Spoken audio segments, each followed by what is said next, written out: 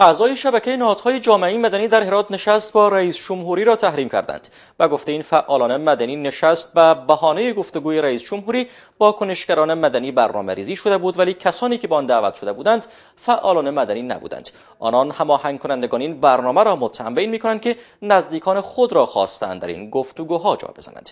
آصف جاهد گزارشی دارد که با هم علی جان فسیحی سخنگوی شبکه نهادهای جامعه مدنی در غرب کشور می‌گوید انتظار می‌رفت هماهنگ کنندگان این نشست از بیشتر کنشگران و نهادهای مدنی دعوت کرده باشند.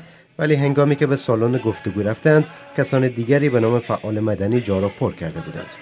او گفت نهادهای مدنی در بخش‌های گوناگونی در هرات فعالیت دارند و جا داشت تا هماهنگ کنندگان زمان ویژه را برایشان اختصاص می‌دادند. ما امیدوار هستیم که بعد از اگر ملاقات با نهادهای جامعه مدنی صورت می‌گیره باید به صورت مشخص یک وقت مشخصی باید ارائه شونه که تا اینکه نهادهای جامعه مدنی بتونه در یک وقت مشخص خواسته ها و دادخواهی ها و حقایقی در ولایت هرات وجود داره اونها را به خدمت رئیس جمهور ارائه نمود از سوی دیگر برخی از کنشگران مدنی هماهنگ کنندگان را متهم به این می کنند که نزدیکان خود را به این نشست فراخوانده بودند.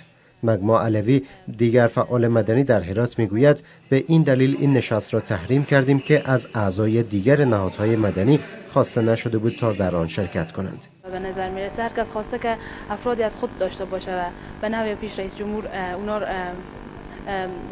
دعوت کرده. اما در کل یک چیز نمادین و تشریفاتی و همچنان غیر امانگی بوده. رئیس جمهوری روز شنبه در رأس یک هیئت بلندپایه وارد هرات شد.